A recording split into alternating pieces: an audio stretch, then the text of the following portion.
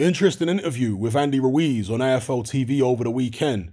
He expressed serious doubts that Deontay Wilder is going to fight him next. And the reason he gave for this is that he thinks Wilder doesn't want that fourth fight with Tyson Fury. And of course, if Wilder fought Andy Ruiz, that would be a final eliminator, with the winner becoming mandatory for Tyson Fury. And I have to imagine this is at least partly based on what Malik Scott, Wilder's trainer, has said in recent interviews. He said, quote, what I want is Alexander Usyk next. What I want is Anthony Joshua next. It's looking like we may have to settle for Andy Ruiz, but I'm hoping not. I don't mean that in a way to tear down Andy. Andy is a very dangerous fighter, but I'm looking at history making fights, stadium filling fights like Joshua versus Wilder, Wilder versus Usyk, Wilder versus Fury 4. I'm interested in these kind of fights. But if we have to take Ruiz, then we have to take Ruiz. End quote. So those were the words of Malik Scott. Now, while I think Ruiz might be onto something with regards to Wilder not wanting to go straight into a fourth Fury fight if he manages to get past Ruiz, I also think that maybe Ruiz is being deliberately humble here or he's overlooked something. But I think that the risk reward with Andy Ruiz isn't favorable. I think that's the way Team Wilder look at it. That's the way Malik Scott looks at it. Because if Deontay Wilder takes on a Anthony Joshua, there's a risk there. If he takes on an Alexander Usyk, there's a risk there. But the reward is seemingly much bigger. The Wilder AJ fight will be huge financially. The uh, relatively speaking, right? I'm not saying it's the biggest fight in boxing, but it would still be a money spinner for both men. The Wilder Usyk fight is a world title opportunity for Deontay Wilder against someone who hasn't previously knocked him out. So you can see the appeal of that. I don't know how much money would be on the line. You have to imagine it would be still a good payday for Deontay Wilder. Whereas with Andy Ruiz, there's no title, and Ruiz doesn't bring the same uh, money potential as an Anthony Joshua. Let's say if that fight between AJ and Wilder happened in the UK. So yeah, I just think that the risk reward for Team Wilder, they're looking at Ruiz and they're thinking, okay, it's high risk. The reward is not that great. Ruiz didn't do great numbers apparently for the Luis Ortiz fight.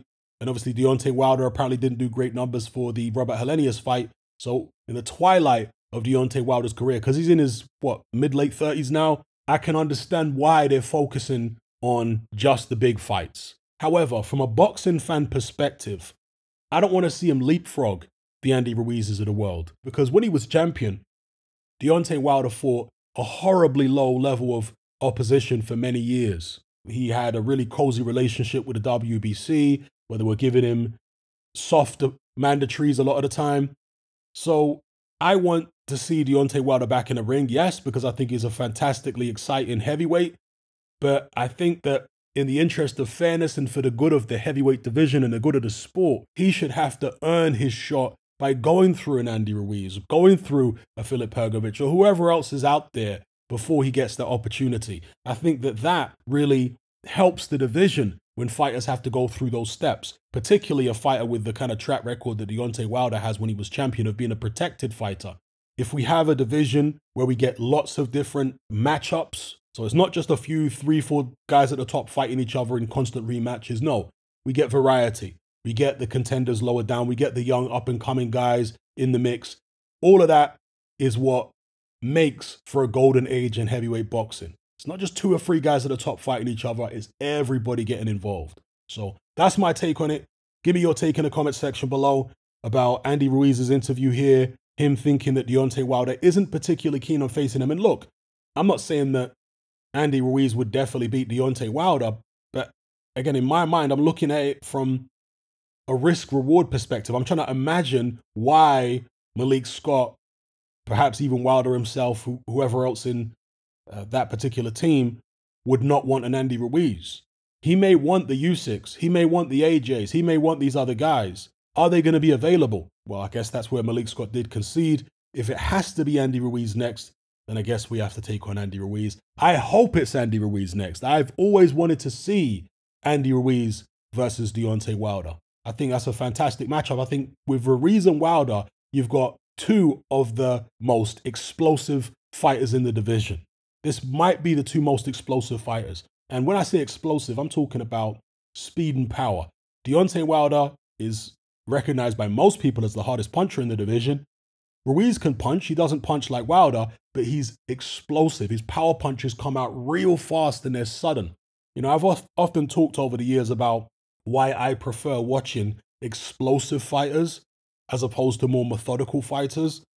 And it's because of the element of surprise that explosive fighters bring to the table. You see, when you've got a fighter like, let's say, I don't know, Antonio Margarito, he can punch, but you can see his knockouts coming a mile off. He's walking guys down, he's wearing them down, and then eventually, you know, the guy starts looking a bit shaky, then Margarito hits him with a two piece and they're on the floor. Similar situation with Gennady Golovkin, right? You can see, see most of Golovkin's knockouts coming before they happen, where he's wearing guys down and he's starting to hurt them gradually, and then suddenly, bang, the left hook comes in, but you could sense that it was coming. Whereas with an explosive fighter like an Andy Ruiz, Deontay Wilder, I want to go further back, David Haye, these kind of guys. With explosive fighters, the opponent can be completely lucid. Both guys in the ring are completely okay. Everyone's fresh. And then bang, out of nowhere, this fast shot comes and drops somebody. Do you know what I mean? That's why I tend to prefer explosive fighters, just in terms of the entertainment value. I'm not saying explosive, excuse me, explosive fighters are better than uh, fighters were less explosive. Obviously, Tyson Fury has proved that that's not the case with regards to Deontay Wilder. But yeah, just from an entertainment perspective, I like seeing the explosive element that certain fighters have. And also because it's not the norm, right? Most fighters are not that explosive. So when you get a guy who is explosive that comes along, they kind of stand out. The best example being Mike Tyson. I mean, he was tremendously explosive. Anyway, I'll leave it there. Let me know what you guys think in the comments below. Me personally, I'd love to see Deontay Wilder versus Andy Ruiz, two explosive guys going at it. Let me know what you think. If you're tired of the biased narratives and mass censorship on mainstream platforms, and you want to be part of a community of critical thinkers who love free speech just as much as you do, then come and join me on Patreon and access my weekly no holds barred censorship free podcast where we lift the lid on a wide variety of controversial topics. It's not mainstream friendly, it's not politically correct, but that's the whole point.